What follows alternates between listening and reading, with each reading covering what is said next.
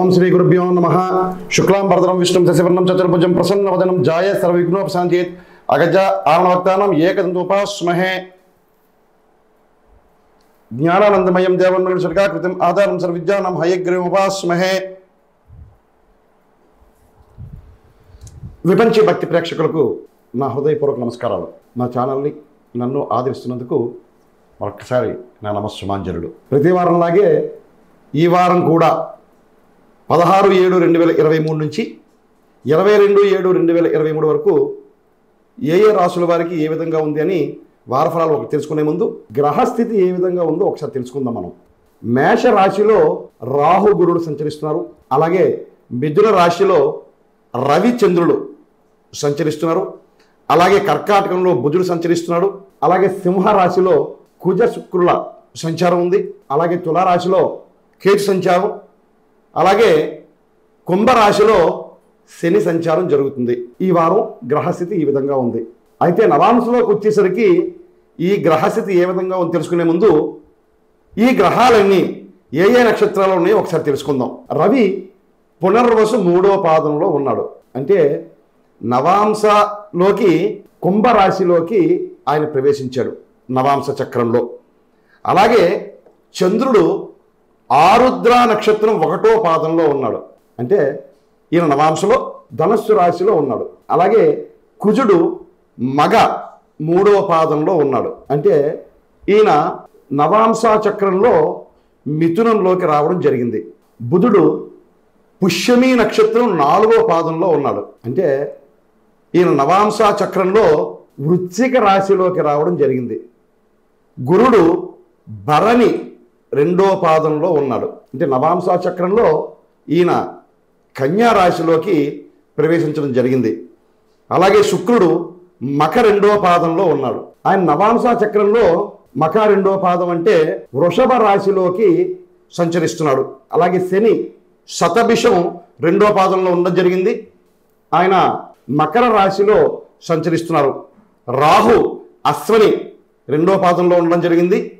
అంటే ఆయన వృషభ రాశిలో నవాంశలో సంచరిస్తున్నారు. కేతు చిత్త నాలుగో పాదం వలన నవాంశ చక్రంలో ఆయన వృశ్చిక రాశిలో సంచారం జరుగుతుంది. అలాగే ద్వాదశాంశంలో తీసుకున్నట్టుగైతే వృషభంలో రవి మిథునంలో శ్రీరాహువులు అలాగే కన్యా రాశిలో చంద్రశుక్రుడు తులలో గురుడు వృశ్చికంలో కుజుడు ధనస్సులో బుధకేతువులు సంచరిస్తున్నారు. కాబట్టి ఈ సంచారం ప్రకారం ఈ వారం అంతా ఎలా ఉంటుందో ద్వాదశ రాశుల వారికి మనం తెలుసుకుందాం. వృషభ రాశి వారికి ఈ వారం ఎలా ఉందో తెలుసుకునే ముందు ఈ రాశి అంటే ఈ లగ్నంలోకి వచ్చే నక్షత్ర పాదాలు తెలుసుకుందాం. ఈ రాశిలోకి కృత్తిక మూడు పాదాలు రోహిణి నాలుగు పాదాలు మృగశిర రెండు పాదాలు ఈ రాశిలోకి వస్తాయి. ఈ నక్షత్ర పాదాలు కల వాళ్ళు ఈ రాశికి చెందిన వారై ఉంటారు. ఈ వృషభ రాశి వారికి ఈ వారంలో ఎలా ఉంటుందంటే ఈ రాశి వారికి రెండు గ్రహాలు మాత్రమే యోగిస్తున్నాయి. ఏడు గ్రహాలు యోగించటం లేదు. ఆ రెండు గ్రహాలు ఏంటంటే శుక్రకేతువులు మాత్రమే ఈ రాశి వారికి యోగాన్ని ఇస్తున్నాయి. మిగిలిన గ్రహాలు యోగాన్ని ఇవ్వటం లేదు. కాబట్టి ఈ వారం అంతా కూడా వీళ్ళు చాలా జాగ్రత్తగా ఉండవలసిన అవసరం అయితే ఉంది.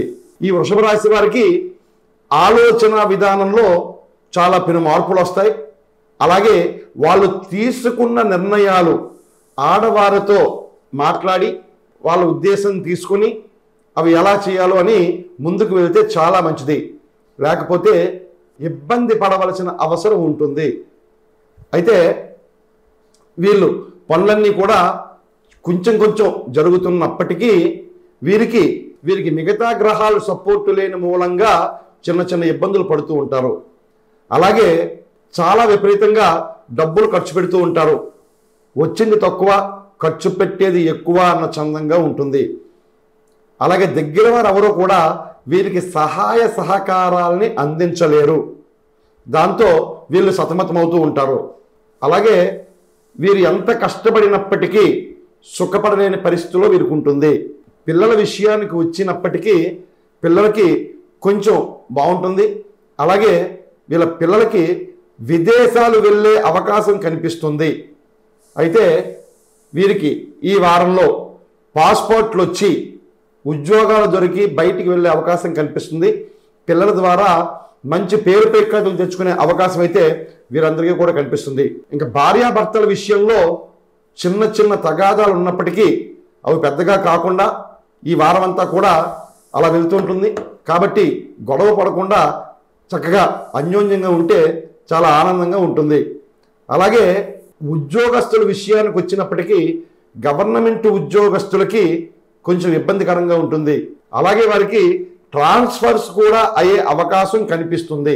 వాళ్ళు చెయ్యని తప్పులకు కూడా పెద్దవారి చేత మాటలు పడవలసిన పరిస్థితి ఏర్పడుతుంది. కాబట్టి ఇవన్నీ కొంచెం ఆలోచించుకొని వాళ్ళు చేసిన పనులలో చాలా జాగ్రత్తగా వ్యవహరిస్తే చక్కగా ఈ వారం అంతా కూడా ముందుకు వెళ్ళే అవకాశం కనిపిస్తుంది.